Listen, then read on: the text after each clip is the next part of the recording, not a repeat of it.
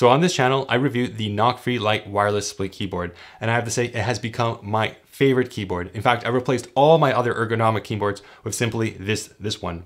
The reason why I like it so much is that it obviously feels really good to type on thanks to its foam and split ergonomics. My favorite feature of this is the Vial software, which allowed me to customize it just as I like so I can do all the powerful commands. For example, home row mods, I'm able to do things like command tab without ever leaving my four fingers on the home row layer. Now, my only real critique with this keyboard was that it only came in white.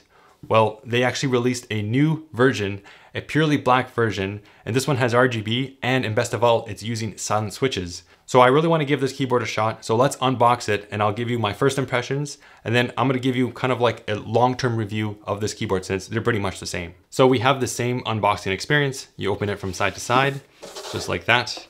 We got our instructions, and then we have this brand new keyboard with silent switches and some very interesting keycaps.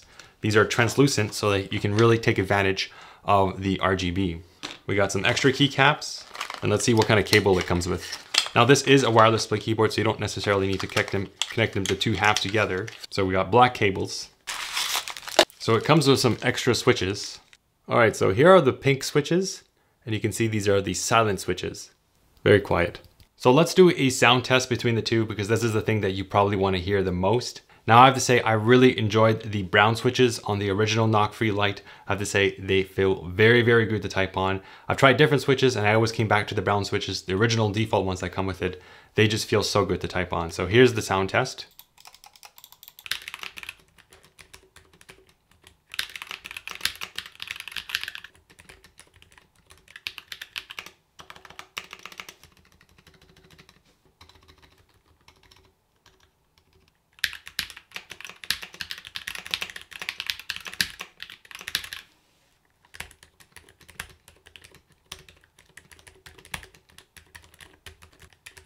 Wow, that is very quiet. So I have to say the pink switches feel really good to type on. It is so quiet. This is gonna be so helpful when you are in the office and the high pitched click clackety noise. You don't wanna annoy your neighbors. I think this is a really good way to like be respectful in the office environment. Not to say that the other keyboard was very loud. They're not using blue switches. So definitely I think you can go with both. But if you're going to be, you know, typing at night and someone's sleeping in the same room, room with you, these do make a big difference. Very quiet, just very satisfying to type on. Looking at these more closely together, you can see they're pretty much the same here. Nothing is different. The wireless dongle is still here, it's embedded inside. Now, what I like about this split keyboard is that it keeps the traditional design. And this is very important for me because I'm very used to using my pinky on some of the modifier keys, especially control. So when I do control C, control V, alt tab and stuff like that. And by the way, I like that it has four keys over here. This makes the alt tab very comfortable because you can rest your thumb and then do your alt tab just like that. And especially if you're gonna play video games, you have your WASD, this is gonna be a lot more familiar. So there is a lot of elitism in the split keyboard community, and a lot of people will be say will be saying, why do you have the you know the staggered layout and you're not using ortholinear or columnar staggered? Well, you can see over here, I do have one of these, and I have to say, it's not as easy to get used to as a regular split keyboard. So if you're new to split keyboards, I do I definitely recommend getting something like this where it's not that much of a shock of a change. These are different and they're supposed to be a little bit more ergonomic, but I, I, do, I was never really convinced by that. They said that instead of moving up to the side, you kind of move up, but you just get used to using the regular type of keyboard. And then when you switch transition to a laptop, for example, it becomes easier to go back and forth. And you don't have to kind of re rejig your memory on how to use a ortholinear or a columnar staggered keyboard. And worst of all with these types of keyboards is the control is you don't have any more pinky controls anymore versus here you can go control here you can't do that. It's, it's a little bit different. Now this is a taller keyboard so you definitely want to get some kind of palm rest. I've been using a 3m very long gel palm rest and i would say that is my favorite one and i still use it to this day but i have to say they're uh, sold as a separate, they're different palm rest, these walnut palm rest, feel very, very good. And best of all, they're very portable. So when I have to go into the office, being able to put everything in the official NocFree case, the keyboard, plus the, the, little cables and this palm rest, which I'm gonna open right now. This is a slightly different color. And of course we got the tenting kit and it's a very simple tenting mechanism. Now I don't actually tent at all, so I'm gonna keep it more truthful to how I actually use this keyboard. So the great thing about this split keyboard is that the palm rests don't automatically get attached. And I've had issues with other keyboards that do that and I find it kind of annoying. So I like being able to like customize it. And this is a great set, great setup. These are really light. The keyboard itself is also very light. And if you can put them all into the case, just like so. So this is a very light setup. I really like how compact it is. Everything is neat and tidy. You can, of course, you can put your cables in here and it just makes go going to the office a lot less painful. I don't have to carry that big 3M gel wrist pad. That thing was very annoying to carry around. These palm rests are just way more portable. All right, so let's talk about the keycaps. Now these are translucent and they feel a little bit different than your typical PBT keycaps. Overall, they do feel really good. I don't think they're gonna make typing any, any worse or harder, anything like that. So here's a little close-up yeah, it's a really interesting keyboard. It's see-through. Yeah, they feel really good. I'm not entirely sure what the, the material of it ma is made of, but it just feels like a softer plastic.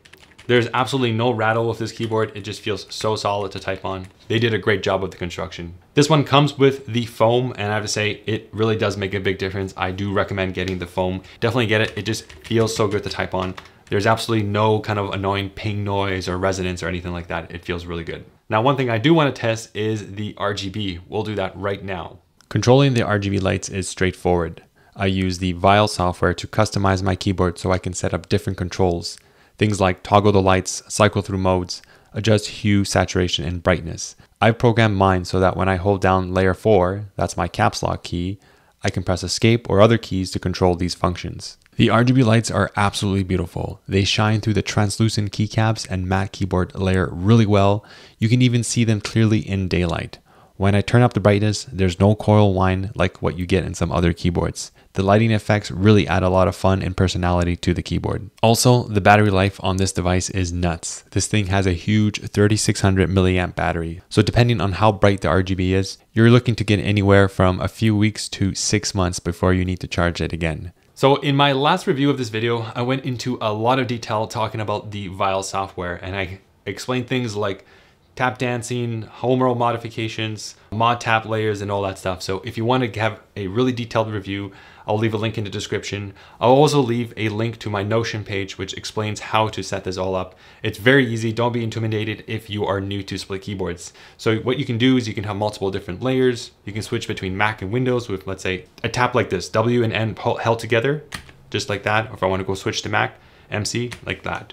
I can do home row modifiers. It means that I can hold down J and hit T, and J, when, when I hold it down, it becomes Command. So Command T.